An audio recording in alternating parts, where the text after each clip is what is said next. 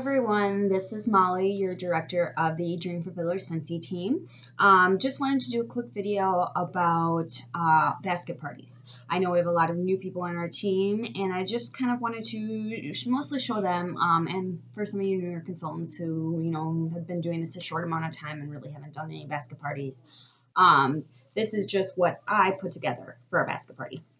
So, um, first off, you get your set of, I get the mini testers from the uh, Family Store. Uh, they're only $25, and then you can get mini tester kits to uh, switch over for fall and winter. Um, I love how compact they are. If I wanted to, I could just give this out, um, but I find that I get more success if I put a little, a little bit more into my basket parties. So you always want to have your mini testers. Then I have this nice little bag. Now, this is from Scentsy. Um, purchased it from the Scentsy Family Store, but you can use any bag you like. Um, I recommend, especially for um, in the, uh, well, I mean, any time of year, but if you live in hotter places or if it's summertime, definitely get a thermal insulated bag so it prevents melting um, easier.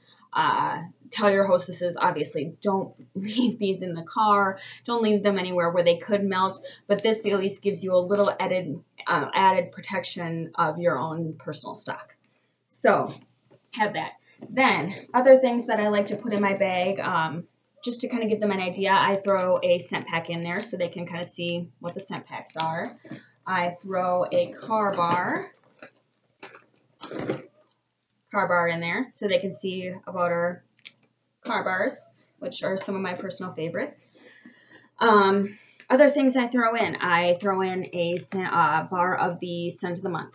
Um, I have more baskets than what I get in the warmer of the month for testers, so I like to throw a bar in there. Plus, it shows um, maybe people who haven't heard of Scentsy and they're coming for the first time uh, to a party or meeting up with someone for the first time. This kind of shows them what the bars are. They, you know, the hostess can talk about how you break them up and put them in your warmer, that type of thing. So I put those in my basket parties. Then uh, for catalogs, I only put about four to five in each bag. Um, just because if I give out more, they tend to get lost and ruined, and it just seems like a lot. If a hostess needs more and calls me for more, I will certainly bring more. But to start out with, I kind of want these treated as precious because, I mean, they are a little expensive for us. I mean, not a little expensive, but it's it's an investment from us. Um, these are our personal business supplies, and I don't like to just throw them at anybody. So again, four to five catalogs depending on um, if I know the hostess has done parties before and she does really well, I'll put, you know, a little more in there. But um, to start out, four to five is perfect.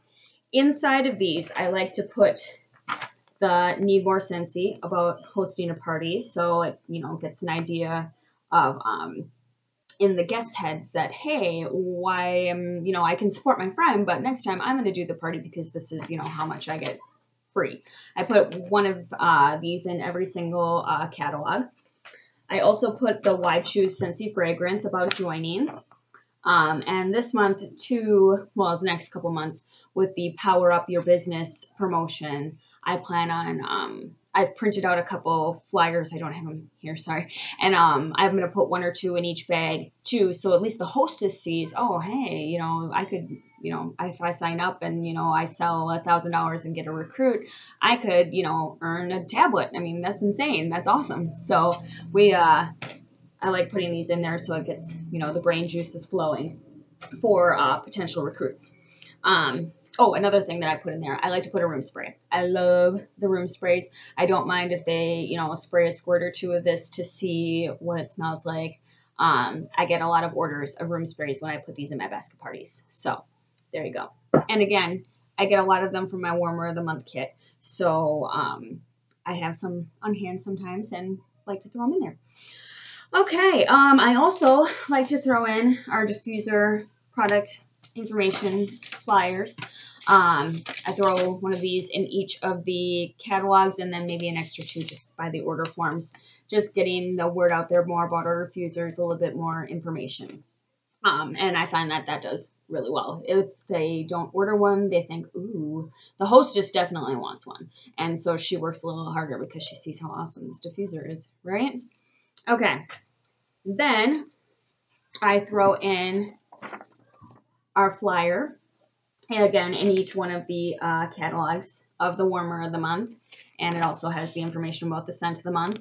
And then also handy on the back, they show all the previous warmers of the month. So they think, oh, that snail is adorable, or oh, I really want a warmer I can color on my own.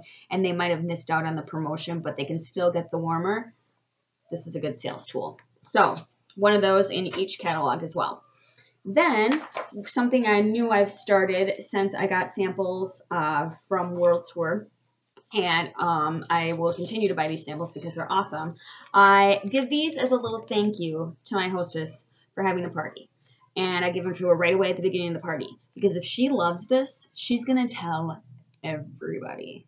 Seriously, she's going to tell all her friends, like, oh my gosh, I've never tried the laundry stuff before, and this is fantastic. My clothes smelled amazing. They felt great. They got so clean, and it's Scentsy. Come on.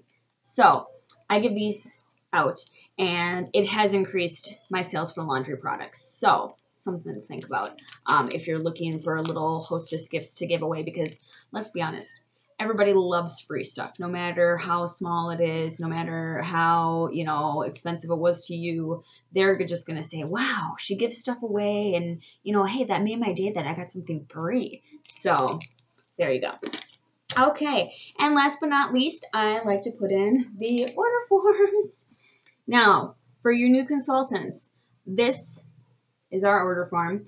I like to highlight, for me, the most important information that I want them to fill out. I don't need their state and I don't need their uh, city if I have their zip code, right? So I just want their name, their address, their zip. Then I want the hostess name. I want their phone number. And um, since I'm a stay-at-home mom, day phone number is fine. If they, and most people just have cell phones nowadays, so their day and night number is pretty much the same. And then I want their email address because I love sending out emails. I like doing, you know, little personal specials. So getting out the email address is imperative for me.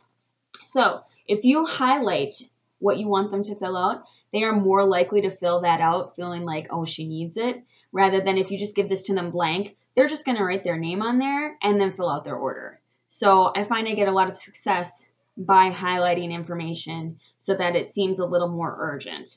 Um, I do mine in pink because I like pink and plus it pops. So, alrighty, that is about it. Um, I will stuff my bag and hand it out to my hostess today. And hopefully, you know, in the next week, I get a lot of great orders and get a lot of good leads on new recruits, um, new hostesses, and a lot of great information. If you have any questions for me, um, or if you have any better ideas for me, or just want to talk to me a little bit more about the joining opportunity, go ahead and you can friend me on Facebook or find me at kidsafecandles.com. And I'm more than happy to chat with you about what I do for basket parties. Um, I hope you guys all have a great day, and we'll talk to you again soon.